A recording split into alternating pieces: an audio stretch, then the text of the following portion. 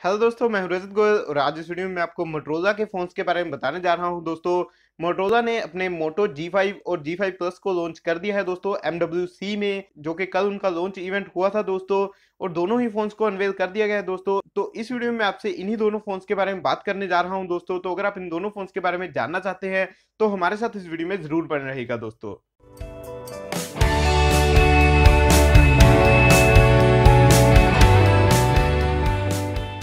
दोस्तों मोटो G5 और G5 plus को लॉन्च कर दिया गया है और अगर मैं इनकी प्राइसिंग की बात करूँ दोस्तों तो इन दोनों की प्राइसिंग दोस्तों मोटो G4 और G4 प्लस दोनों से कम रखी जाएगी और जो फोन्स हैं दोस्तों, पिछले G4 और G4 प्लस से थोड़े कम्पैक्ट बनाए गए हैं इस बार। अगर मैं कैमरा की बात करूँ तो कैमरा भी इम्प्रूव किया गया है। दोनों में आपको एंड्रॉयड सेवन ही देखने के लिए मिलेगा। तो चलिए दोस्तों, इन दोनों फोन्स की स्पेसिफिकेशन हम कंपेयर कर लेते हैं और मैं आपको बता देता हूँ दोनों फोन्स में आपको क्या क्या देखने के लिए मिलेगा। तो सबसे पहले अगर मैं बात करूँ दोस्तों मोटो G5 की तो इसमें आपको पाँच इंच की फुल एचडी स्क्रीन देखने के लिए मिलेगी। अगर मैं बात करूँ G5 प्लस की दोस्तों, उसमें आपको 5.2 इंच की फुल एचडी स्क्रीन देखने के लिए मिलेगी। मोटो G5 में दोस्तों, आपको 2800 mAh की रिमूवेबल बैटरी देखने के लिए मिलेगी। अगर मैं जी फाइव प्लस की बात करूँ दोस्तों, उसमें आपको 3000 mAh की नॉन रिमूवेबल बैटरी देखने के लिए मिलेगी। अगर मैं डिज़ाइन की बात करूँ दोस्तों तो लगभग सेम आपको देखने के लिए मिलता है, लेकिन फिर भी आपको G5 में रिमूवेबल बैटरी दी गई है और G5 प्लस में आपको नॉन रिमूवेबल बैटरी दी गई है दोस्तों। दोनों ही फोन्स में आपको टर्बो चार्ज की सपोर्ट मिल जाएगी, जैसा कि मोटरोला के फोन्स में आपको हमेशा देखने के लिए मिल जाता है दोस्तों। अगर मैं बात करूँ इन फ़ोन के प्रोसेसर की दोस्तों तो मोटो G5 में आपको स्नैपड्रैगन 430 देखने के लिए मिलेगा। हालाँकि G5 प्लस में आपको थोड़ा बेहतर प्रोसेसर देखने के लिए मिल जाएगा दोस्तों। आपको उसमें स्नैपड्रैगन 625 देखने के लिए मिलेगा।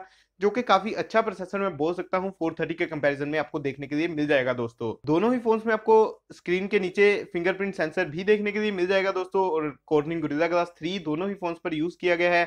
अब अगर जो मैं मेन डिफरेंस की इन दोनों की बात करूँ दोस्तों, वो आता है कैमरा में। अगर मैं मोटो G5 की बात करूँ दोस्तों तो पीछे की तरफ़ आपको 13 मेगापिक्सल का PDAF ऑटो फोकस के साथ आपको कैमरा दिया गया है। लेकिन मोटो G5 प्लस में आपको काफ़ी बेहतर कैमरा दिया गया है दोस्तों।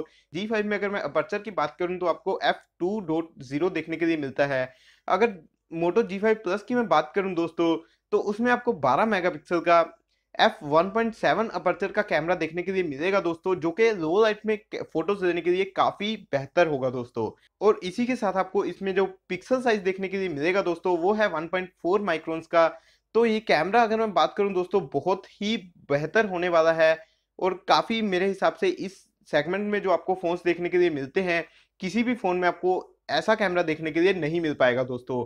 तो कैमरा अगर मैं बात करूँ तो इस फ़ोन में आपको काफ़ी अच्छा देखने के लिए मिलेगा। ऐसा कैमरा दोस्तों आपको सैमसंग के हाई एंड फोन्स में देखने के लिए मिलता है। अगर मैं बात करूँ सैमसंग के S7 और S7 Edge की दोस्तों, उन फोन्स में आपको ऐसा कैमरा देखने के लिए मिलता है।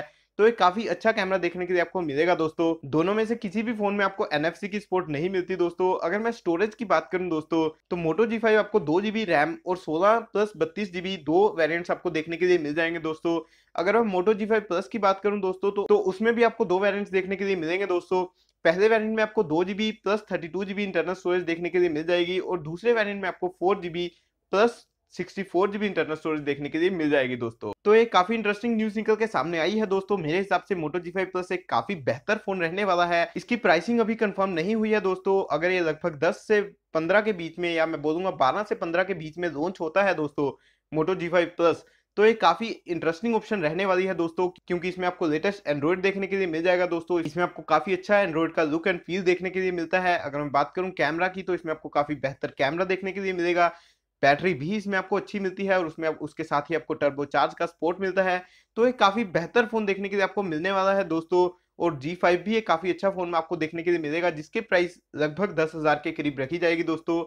तो देखते हैं दोस्तों इन फोन्स की प्राइसिंग क्या होती है, और आगे निकल के इनके बारे में क्या न्यूज़ निकल के सामने आती है दोस्तों। इस वीडियो में इतना ही, दोस्तों। अगर आपको ये वीडियो पसंद आई तो इस वीडियो को लाइक कर दें। अगर आपके इस वीडियो के बारे में कुछ सवाल या सुझाव हैं तो हमें कमेंट्स में ज़रूर बताइएगा, दोस्तों। और हमारे चैनल को प्लीज़ सब्सक्राइब कर दीजिएगा, दोस्तों, ताकि आपको हमारे हर वीडियो की नोटिफिकेशन जल्दी से जल्दी मिलती रहे। इस वीडियो को देखने के लिए आपका बहुत बहुत धन्यवाद, दोस्तों।